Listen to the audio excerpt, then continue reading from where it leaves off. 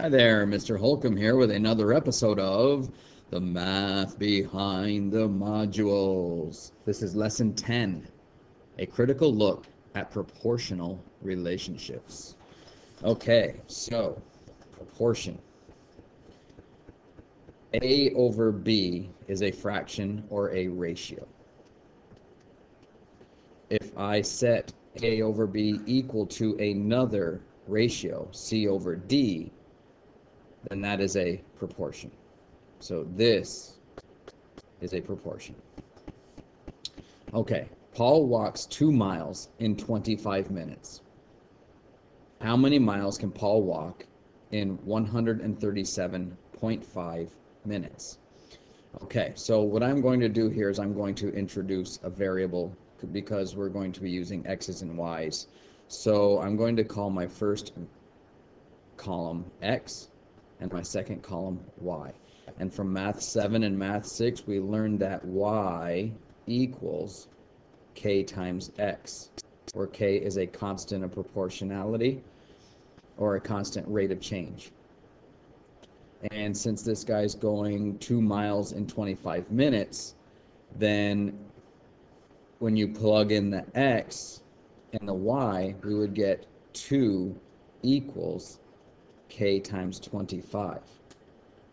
Okay, so this would solve for k by, if we divided by 25 on both sides. Then these cancel, and I get k equals 2 over 25. Okay, so we do also have a formation, a form of this equation where it's k equals, if we decide divide both sides by x, it's k equals y divided by x. Okay, so now if I just simply remember that multiplication is repeated addition, then I can say, well, if I take 25 minutes and I double my time, I should go double the distance, so 2 times 2 is 4. And if I multiply 25 times 3, or just keep adding 25, I will get 75, plus 25 is 100, plus 25 is 125. So that's repeated addition, or it's 25 times 2, 25 times 3, 25 times 4, 25 times 5. We do the same with the 2, 2, 4, 6, 8, 10. Okay, much quicker to do it this way, but we could also have used k equals y divided by x to find each term. So exercise 1 says, Wesley walks at a constant speed. That's the key here, it's constant from his house to school 1.5 miles away. Okay, so this is the distance.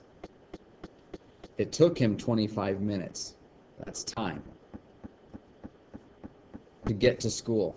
What fraction represents his constant speed? C. So we're calling constant speed C. Okay, I just realized that I had forgotten to answer this question. So I went back to the first example. So Paul walked to, I filled out the table, but then it says how many miles can Paul walk in 137.5 minutes. So if this is 137.5, then we want to know what y is here. So I would set up my proportion like I was saying up above. So I'd say 25. Our, my time is to my distance I know as my time is to the distance I don't know. And that's my y. So when I cross multiply, I get 25y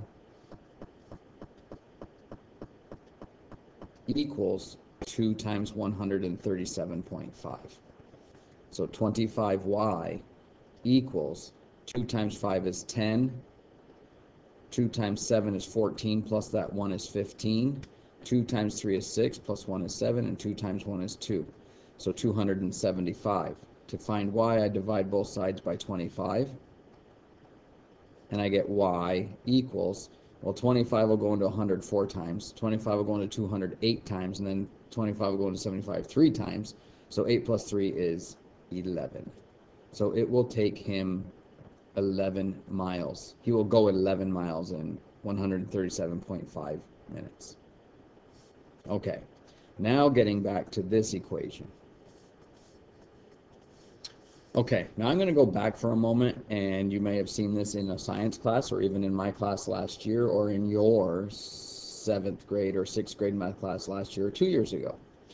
Uh, we have a formula that says distance equals rate times time. So now we're calling rate a constant speed c. So now we're using the same formula, but it's going to be d equals c times t.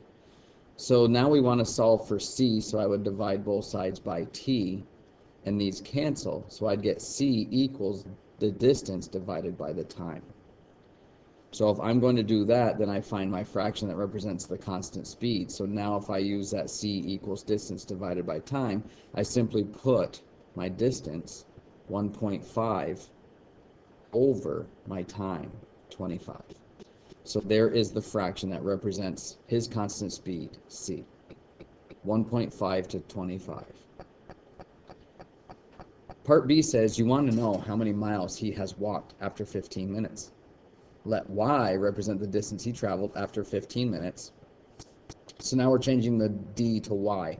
So if I have d equals r times t, now let me change this to the values that we're using. It's the same formula, just different variables. Our r is now c. Our y is the distance he traveled, so that's over here. After 15 minutes of walking, okay, so it says let y represent the distance he traveled after 15 minutes of walking. So that's our time. So we're going to use the formula y equals c times t and we know that it's 15 minutes, that's our time. So it's going to be c times 15 equals y. Now if I want to solve this for c, I would divide both sides by 15. And the c 15's cancel, and therefore my equation is c equals y divided by 15. I could also have come up here and seen that I've already set this up. C equals distance divided by time. Distance is y, time is 15. Okay, part C says write a fraction from parts A and B as a proportion and solve to find how many miles Wesley walked after 15 minutes. So this fraction's a ratio, this fraction's a ratio, and now we're going to set them equal to each other. So this is the transitive property. Remember that if A equals B and C B equals C, then A equals C. So up here, if I have this equal to C and C equal to this, then this is equal to this. That's the transitive property that we're leading up to. So write a fraction from part A and B as a proportion. So I'm going to say my 1.5 over 25 equals this fraction y over 15. And solve to find how many miles Wesley walked after 15 minutes. So I'm going to cross multiply here and get 25y. And 15 times 1.5 15 times 15 is 225, and I have one decimal place, so it's 22.5. And then I divide both sides by 25. Divide both sides by 25. These cancel, and I'm left with y equals, and 22.5 divided by 25 is 0.9. So he walks nine tenths of a mile after 15 minutes. D. Let y be the distance in miles that Wesley travels after x minutes. Write a linear equation in two variables that represents how many miles Wesley walked after x minutes. Okay, so let y be the distance in miles and we're going to use this proportion or this ratio right here. So we know that he 1.5 miles in 25 minutes. 1.5 miles in 25 minutes. And that is going to equal Wesley traveled after X minutes. Let Y be the distance in miles. So we're doing distance over time. So my distance is y and x minutes is time. So now I have 1.5 over 25 equals distance y over time x. Write a linear equation in two variables. So there's a y, there's an x, there's two variables. That represents how many miles Wesley walks after x minutes. So I'm going to cross multiply, and I'm going to get 25y equals, and I'm going to multiply these and get 1.5x. So when I divide by 25, I get y by itself. Divide this side by 25, and I get y equals, and I'm going to just put this 1.5 over 25 out in front of my x. So there is a linear equation in two variables. Remember, a linear equation is a is an equation where the variables to the power of 1 are 0, and this is to the power of 1, so this is a linear equation. Okay, number two. Stephanie drove at a constant speed from her apartment to her friend's house 20 miles away.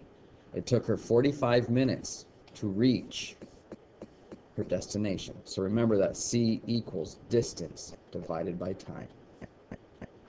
So c is going to equal her distance, 20 miles, divided by the length of time it took her, 45. B. What fraction represents constant speed c if it takes her x number of minutes to get halfway to her friend's house? Okay, so let me go back here. And she went 20 miles. So to halfway, half of 20 is 10. So now my distance is 10. Okay, and c is still our constant speed, and x is number of minutes. So d equals 10 miles, um, and my d is the numerator, and that is my y. So that is going to be y. So I'm going to be y equals distance equals 10 miles. So I'm just using the same variables. So if I have c equals distance divided by time, and now I'm going to say my c, my constant speed, which was, I'm using c, and now the distance is half of that, then it's 10 over x number of minutes. So this is the answer to B. Part C says write and solve a proportion using the fractions from part A and part B to determine how many minutes it takes her to get half to the halfway point. So if I go back and C equals 20 over 45, so it's 20 over 45 equals 10 over x. So I've set up my proportion. I'm going to cross multiply, and I'm going to get 20x equals 45 times 10 is 450. And when I divide by 20, okay, I get, actually I don't want to do it that way. Divide by 20, divide by 20, and the 20s cancel, and I'm left with x. The zeros cancel, and I get 45 over 2, which is 22.5 minutes. 22 and a half minutes.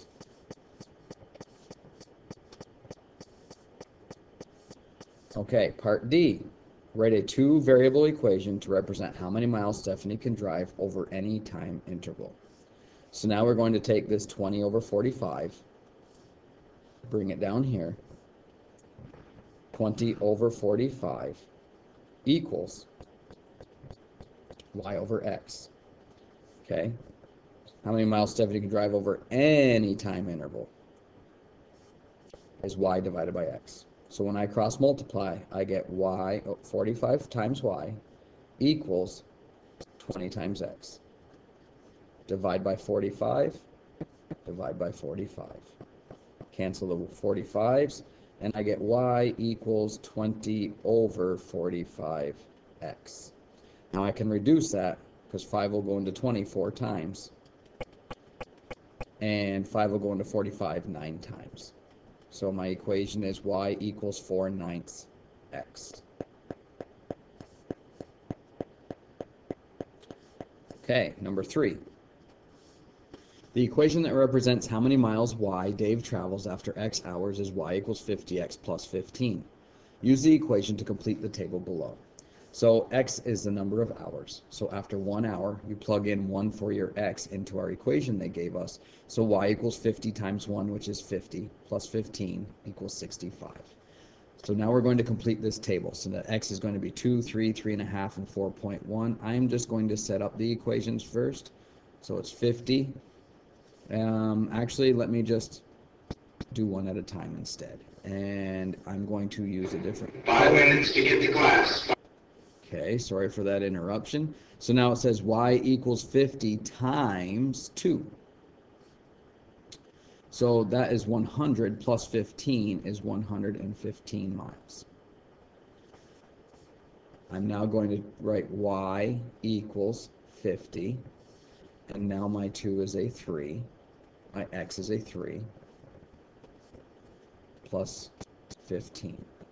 50 times 3 is 150, plus 15 is 165. So what we're really doing here is adding 50 each time until we get to a fraction, and then we can no longer do that. So now I have y equals 50. I'm going to replace the x with 3.5. So 50 times 3.5, well 50 times 3 is 150, and half of 50 is 25, so that's going to be 175, plus 15 is 190.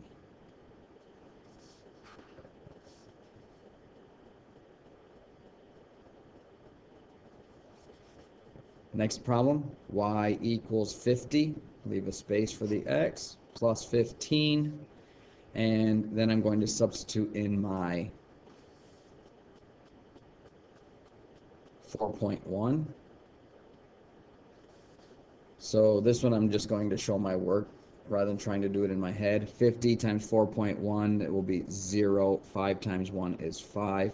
5 times 4 is 20. 1 decimal, that's 205 plus 15. So 205 plus 15 is 225. Or 220. 205 plus 15 is 220 miles. Okay, that is the end of lesson 10. Review the summary and go do your problem set.